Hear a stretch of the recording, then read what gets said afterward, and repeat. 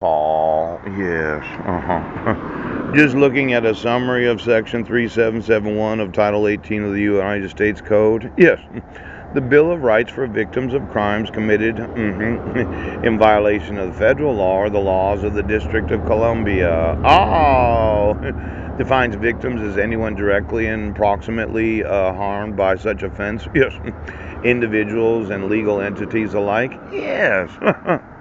Now, numbered among the rights it conveys are the right to be reasonably protected from the accused. Oh, the right to notification of public court and uh, parole proceedings and any release of the accused. the right not to be excluded from public court proceedings under most circumstances. Yes.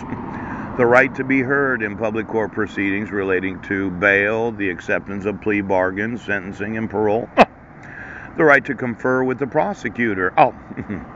The right to the restitution under the law, and the right to proceedings free from unwarranted delays, the right to be treated fairly and respect one's dignity and privacy.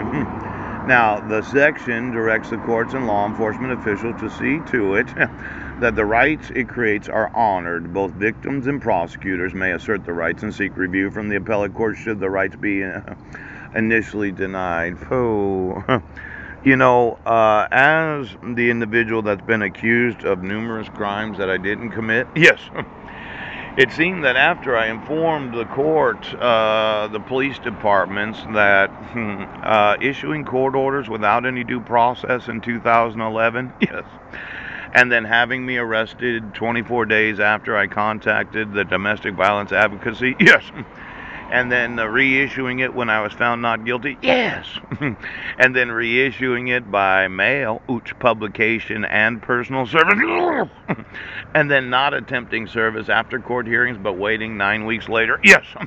and then initiating it to be renewed again on June 1st of 2015.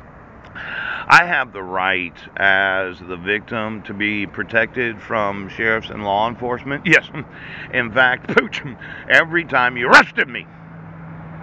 Now, I I'm I'm kind of thinking the sheriff's manual that clearly established rights of citizens. I should have been housed in a hotel a long time ago, but you didn't want to see me as a victim. Oh.